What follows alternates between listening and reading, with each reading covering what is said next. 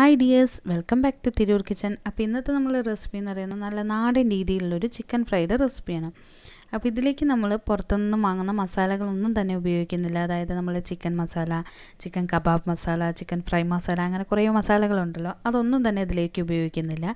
പിന്നെ കൂടാതെ നമ്മൾക്ക് ഇതിലേക്ക് ഉപയോഗിക്കുന്ന ഓയിലും വളരെ കുറച്ച് ഓയിൽ ഉപയോഗിക്കുന്നുള്ളൂ. സാധാരണഗതിയിൽ നമ്മൾ ചിക്കൻ ഫ്രൈ ചെയ്യുകയാണെങ്കിലൊക്കെ ഒരുപാട് ഓയിൽ ഉപയോഗിക്കാറുണ്ട്. അവസാനം ആ ഓയിൽ ബാക്കിയായി നമ്മൾ കളയാറുണ്ട് വേസ്റ്റായി പോവാറാണുള്ളത്. പക്ഷേ ഇതിലേക്ക് നമ്മൾ ആകെ ഉപയോഗിക്കുന്നത് എന്ന് പറഞ്ഞു കഴിഞ്ഞാൽ കാ കപ്പ് വെളിച്ചെണ്ണ മാത്രമേ ഞാൻ ഉപയോഗിച്ചിട്ടുള്ളൂ. പിന്നെ നിങ്ങളിപ്പോൾ ഈ കാണുന്ന ഒരു ഭംഗിയുണ്ടല്ലോ കണ്ണിന് നല്ലൊരു കുളിർമ നൽകുന്നുണ്ടല്ലോ എല്ലാതും കൂടി മിക്സ് ചെയ്ത് കിടക്കുമ്പോൾ. ഇതേ കുളിർമ തന്നെയാണ് കേട്ടോ നമ്മൾ നാവിനും ഇത് കഴിക്കുമ്പോൾ അത് വളരെയധികം ടേസ്റ്റുള്ളൊരു സംഭവം തന്നെയാണ്. ഇത് നമുക്ക് ചപ്പാത്തിയുടെ കൂടിയും ചോറിന്റെ കൂടിയും വെള്ളപ്പത്തിന്റെ കൂടിയൊക്കെ ഉപയോഗിക്കാൻ പറ്റും. അപ്പോൾ നേരെ നമുക്ക് റെസിപ്പിയിലേക്ക് പോയാലോ? ഇതിനായിട്ട് ഞാനിതാ ഇവിടെ ഒരു മിക്സിയുടെ ജാറിലേക്ക് ഒരു വലിയ കഷ്ണം ഇഞ്ചി ചെറുതായിട്ട് മുറിച്ചിട്ട് കൊടുക്കുന്നുണ്ട്. ഇതിലേക്ക് ഇനി ഒരു നാലല്ലി വെളുത്തുള്ളിയും പിന്നെ ഒരു നാലല്ലി ചുവന്നുള്ളി അതായത് നമ്മൾ കുഞ്ഞുള്ളി ഉണ്ടല്ലോ അതും കൂടി ചേർത്ത് കൊടുക്കുക. പിന്നെ ചേർത്ത് കൊടുക്കുന്ന ഒരു ചെറിയ സവാള മുഴുവനായിട്ടുള്ളതാണ്. വലിയ സവാളയ്ക്കാണെങ്കിൽ അര സവാള ചേർത്താൽ മതി മുക്കാൽ കിലോ ചിക്കനിലേക്ക് ഇട്ടോ. ഇനി ഒരു കുഞ്ഞ് തക്കാളിയുടെ മുക്കാൽ ഭാഗം കൂടി ചേർത്ത് കൊടുക്കുന്നുണ്ട്. ബാക്കി തക്കാളി നമുക്ക് എടുത്ത് വയ്ക്കണം ഒരാവശ്യമുണ്ട് ഇപ്പോൾ ഇതാ നമ്മളിത് മസാലയൊക്കെ നന്നായിട്ട് അരച്ചെടുത്തിട്ടുണ്ട്. ഇതിനു മുമ്പ് നിങ്ങൾ എപ്പോഴെങ്കിലും തക്കാളിയൊക്കെ ചേർത്തിട്ടുള്ള ചിക്കൻ ഫ്രൈ കഴിച്ചിട്ടുണ്ടോ? അതായത് നമ്മൾ തക്കാളിയൊക്കെ അരച്ചെടുത്തുള്ള ചിക്കൻ ഫ്രൈ. ഞാൻ ഇതുവരെ കഴിച്ചിട്ടില്ല കേട്ടോ. ഇതെനിക്ക് പറഞ്ഞു തന്നിട്ടുള്ളത് എന്റെ കസിനാണ് ദുർഗാദാസ് പറഞ്ഞു തന്ന റെസിപ്പി അവന്റെ ഒരു സ്പെഷ്യൽ റെസിപ്പിയാണിത് അപ്പോൾ താങ്ക്സ് ദുർഗാദാസ്. ഇനി നമുക്ക് ഇതാ നമ്മൾ കഴുകി വൃത്തിയാക്കി വെച്ചിട്ടുള്ള ചിക്കനിലേക്ക് ഈ മസാല തേച്ച് പിടിപ്പിക്കാം. അപ്പോൾ ഈ മസാല ഈ മിക്സിയുടെ ജാറിന്റെ അടപ്പിലൊക്കെ ഉണ്ടായിരിക്കുമല്ലോ അതൊന്നും കളയണ്ട. ഒക്കെ നന്നായിട്ട് എടുത്തിട്ട് നമുക്ക് ഇതിലേക്ക് തേച്ച് പിടിപ്പിക്കാനായിട്ട് എടുക്കാം. അത്രയും ടേസ്റ്റുള്ളൊരു മസാലയാണത്.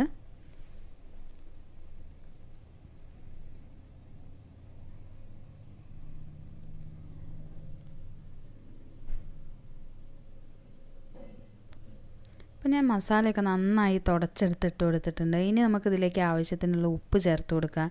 പിന്നെ ഇതിലേക്കൊരു അര ടീസ്പൂൺ മഞ്ഞൾപ്പൊടി വേണം. കൂടാതെ ഒരു രണ്ടര ടേബിൾ സ്പൂൺ മുളക് പൊടിയാണ് ഉപയോഗിക്കുന്നത്. നമ്മൾ കുരുമുളകൊന്നും ഉപയോഗിക്കാത്തതുകൊണ്ട് തന്നെ രണ്ടര ടേബിൾ സ്പൂൺ മുളക് പൊടി നമുക്ക് ഉപയോഗിക്കാം. ഇതിപ്പോൾ കുറേ പ്രാവശ്യമായിട്ട് ഇടുന്നത് കാണുമ്പോൾ നിങ്ങൾക്ക് തോന്നും കുറേ മുളക് പൊടി ഇട്ടിട്ടുണ്ടെന്ന്. ഇത് ടീസ്പൂണിലാട്ടോ ഇടുന്നത്. അതുകൊണ്ടാണ് കുറേ പ്രാവശ്യം ഇടുന്ന പോലെ തോന്നുന്നത്. ടേബിൾ സ്പൂണിലാകുമ്പോൾ അതാകെ രണ്ടര ടേബിൾ സ്പൂണേ ഉപയോഗിച്ചിട്ടുള്ളൂ. അതുപോലെ തന്നെ നമുക്ക് രണ്ട് രണ്ട് ടേബിൾ സ്പൂൺ മല്ലിപ്പൊടി കൂടി ചേർത്ത് കൊടുക്കണം.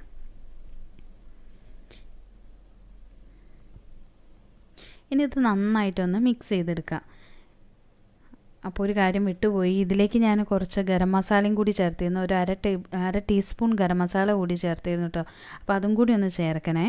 ഇനി നമുക്ക് അവസാനമായിട്ട് കുറച്ച് നല്ല ജീരകവും ചേർത്ത് കൊടുത്തിട്ട് നന്നായിട്ട് മിക്സ് ചെയ്ത് വെക്കാം.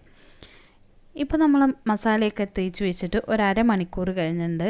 ചുരുങ്ങിയത് ഒരു അരമണിക്കൂറെങ്കിലും വെക്കണം. എന്നാലേ ഇതിന് നല്ല ടേസ്റ്റ് ഉണ്ടായിരിക്കുള്ളൂ. ഇപ്പോൾ ഇതാ നമ്മൾ വെച്ച പാനൊക്കെ ചൂടായതിന്റെ അതിലേക്ക് നമ്മൾ വെളിച്ചെണ്ണ ഒഴിച്ചു കൊടുത്തിട്ടുണ്ട് ഇപ്പോൾ കണ്ടില്ലേ ആകെ കുറച്ച് വെളിച്ചെണ്ണ ഒഴിച്ചിട്ടുള്ളൂ. ഇതിലാണ് ഇനി നമ്മൾ ചിക്കൻ ഫ്രൈ ചെയ്തെടുക്കാൻ പോകുന്നത്.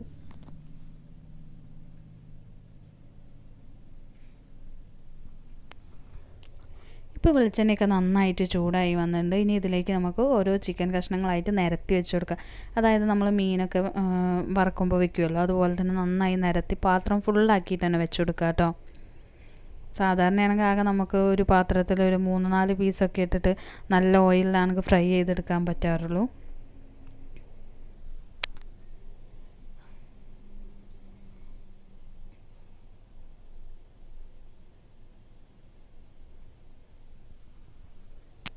അപ്പോൾ നമ്മൾ നന്നായിട്ട് ഇതാ ചിക്കന്റെ ഒരു ഭാഗമൊക്കെ നന്നായിട്ട് വെന്ത് വരാൻ തുടങ്ങിയിട്ടുണ്ട്. ഇനി നമുക്കിതൊന്ന് മറിച്ചിട്ട് കൊടുക്കണം. ഇപ്പോൾ ഏകദേശം ഒരു വേവായി കിട്ടിയിട്ടുണ്ട്. ഇപ്പോൾ നമ്മളിതാ ഇതെന്ന് വരുന്ന ഒരു പുക കണ്ടോ? ഈ പുക കൊണ്ടുവരുന്ന മണം അതെന്താണെന്നറിയോ മക്കളെ? ഇവിടെ നല്ല അടിപൊളി മണമാണ് അപ്പോൾ നമുക്കിനി ഈ ചിക്കൻ ഒന്ന് തിരിച്ചിട്ട് കൊടുക്കാം.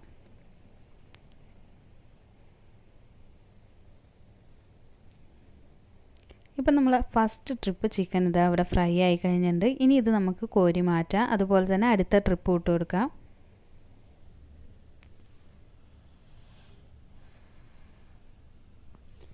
ഇപ്പോൾ അടുത്ത ട്രിപ്പ് ഇട്ട് കൊടുത്തതും ഏകദേശമൊക്കെ ഫ്രൈ ആയി കിട്ടി തുടങ്ങിയിട്ടുണ്ട്. ഇനി നമുക്കിതൊന്ന് തിരിച്ചിട്ട് കൊടുക്കണം. പക്ഷേ ഇത് നമ്മൾ നല്ല കഷ്ടപ്പെട്ട് മറിച്ചിടേണ്ട ആവശ്യമൊന്നുമില്ല കേട്ടോ. ഇതുപോലെ ഒന്ന് ഇളക്കി കൊടുത്തു കഴിഞ്ഞാലും മതി. കാരണം ഈ ചിക്കൻ അങ്ങനെ പൊടിഞ്ഞു പോവുക അങ്ങനത്തെ കാര്യങ്ങളൊന്നും സംഭവിക്കുന്നില്ല. അതുകൊണ്ട് തന്നെ നമുക്ക് ഇളക്കി കൊടുത്ത് തന്നെ മറിച്ചിടാം.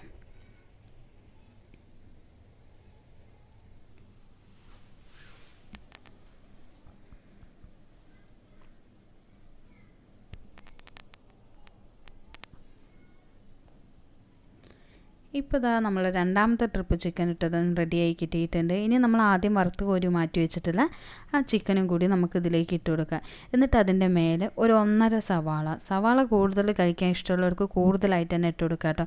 ഞാൻ ഇപ്പോൾ ഇവിടെ ഒരു ഒന്നര സവാള ദാ ഇതിന്റെ മുകളിലേക്ക് ഇട്ട് കൊടുത്തിട്ടുണ്ട്. അതുപോലെ തന്നെ നമ്മൾ ഒരു കാ കഷ്ണം തക്കാളി ഉണ്ടായിരുന്നല്ലോ അതും കൂടി ചേർത്ത് കൊടുത്ത് കുറച്ച് പച്ചമുളകും ഒരു കുറച്ച് കരുവേപ്പിന്റെ ഇലയും കൂടി ചേർത്ത് നന്നായിട്ടൊന്ന് വഴറ്റിയെടുക്കാം. വഴറ്റിയെടുക്കുക എന്ന് പറയുമ്പോൾ കുറേ നേരിട്ട് വഴറ്റണം എന്ന് വിചാരിക്കേണ്ട കേട്ടോ അത് ആകെ വഴറ്റേണ്ട ഒരു രണ്ട് മിനിറ്റൊക്കെ വഴറ്റി കൊടുത്താൽ മതി. ഓൾറെഡി നമ്മൾ ചിക്കനും അതുപോലെ തന്നെ നമ്മൾ പാത്രത്തിനൊക്കെ നല്ല ചൂടുള്ളതുകൊണ്ട് ഇത് പെട്ടെന്ന് തന്നെ ആയി കിട്ടും. ഇപ്പോൾ അത് നന്നായിട്ടൊന്ന് വഴറ്റി കൊടുക്കുന്നുണ്ട്. ഒരു രണ്ട് മിനിറ്റ് വഴറ്റിയിട്ടുള്ളൂ കേട്ടോ ഇനി ഇത് ചിക്കനിൽ ഇരുന്നിട്ട് തന്നെ ഒന്ന് വഴണ്ടി കിട്ടും. അതിന്റെ ചൂട് കൊണ്ട് തന്നെ ഈ ഉള്ളിയൊക്കെ ഒന്ന് നന്നായിട്ടൊന്ന് വാടി കിട്ടും. ഇപ്പം നമ്മൾ ടേസ്റ്റി ആയിട്ടുള്ള ചിക്കൻ ഫ്രൈ ഇവിടെ റെഡി ആയിട്ടുണ്ട്. അപ്പോൾ എല്ലാവരും ഇതൊന്ന് ട്രൈ ചെയ്ത് നോക്കണം. ഇഷ്ടപ്പെട്ടാൽ ലൈക്ക് ചെയ്യുക ഷെയർ ചെയ്യുക കമന്റ് ചെയ്യുക. വീണ്ടും അടുത്തൊരു വീഡിയോ കാണാം. Okay thank you bye bye